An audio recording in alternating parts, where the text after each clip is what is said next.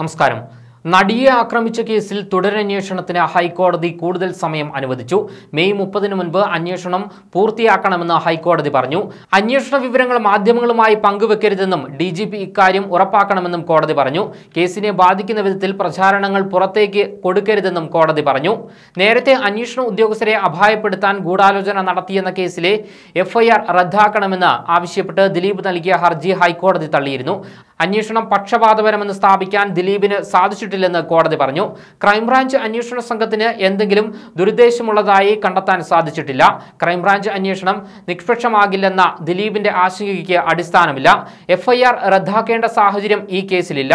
അത്രമേൽ സവിശേഷമായ സാഹചര്യത്തിൽ മാത്രമേ ക്രിമിനൽ നടപടി ചട്ടം നാനൂറ്റി എൺപത്തിരണ്ട് പ്രകാരം എഫ്ഐആർ റദ്ദാക്കാൻ സാധിക്കൂ.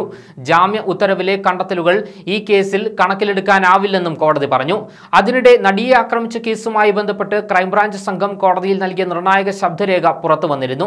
ദിലീപിന്റെ അഭിഭാഷകനും സഹോദരൻ അനൂപും തമ്മിലുള്ള സംഭാഷണമാണ് പുറത്തു വന്നിരിക്കുന്നത്. വിചാരണവേളയിൽ കോടതിയിൽ നൽകേണ്ട മൊഴികൾ എങ്ങനെ വേണമെന്ന് അഭിഭാഷകൻ അനൂപിന് പറഞ്ഞു കൊടുക്കുന്നതാണ് ശബ്ദരേഖയിൽ ഉള്ളത്. പ്രോസിക്യൂഷൻ സാക്ഷിയായ ദിലീപിന്റെ സഹോദരനെ സ്വാധീനിക്കുന്നതിന്റെ പ്രത്യക്ഷത്തിലുള്ള തെളിവാണിത്. ദിലീപിന്റെ മുൻ ഭാര്യ മഞ്ജു വാര്യർ മദ്യപിക്കാറുണ്ടെന്ന് മൊഴി നൽകണമെന്നാണ് അഭിഭാഷകൻ അനൂപിനോട് ആവശ്യപ്പെടുന്നത്.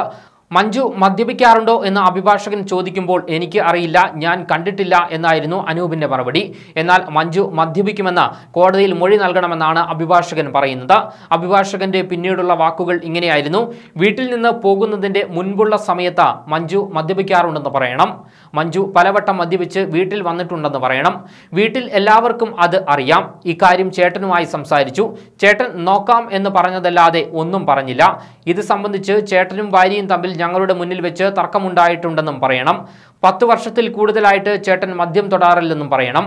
ഇതിനു പുറമെ നടി ആക്രമിക്കപ്പെട്ട ദിവസം ദിലീപ് ആശുപത്രിയിൽ അഡ്മിറ്റ് ആയിരുന്നു എന്ന വാദത്തിന് നൽകേണ്ട മൊഴികളും അഭിഭാഷകൻ അനൂപിന് പറഞ്ഞു കൊടുത്തിരുന്നു. സംഭവ ദിവസം ദിലീപിന് പനിയും തൊണ്ടവേദനയും ചുമയും ഉണ്ടായിരുന്നു. പറ്റുമ്പോഴെല്ലാം ദിലീപിനെ ആശുപത്രിയിൽ പോയി കാണുമായിരുന്നു എന്ന് പറയണമെന്നുമാണ് അഭിഭാഷകന്റെ നിർദ്ദേശം. ഇനി എന്തെങ്കിലും ചോദിച്ചാൽ ചോദ്യം മനസ്സിലായില്ലെന്ന് പറഞ്ഞാൽ മതി. ബാക്കിയൊന്നും മൈൻഡ് ചെയ്യേണ്ടെന്നും അഭിഭാഷകൻ അനൂപിനോട് പറയുന്നുണ്ട്.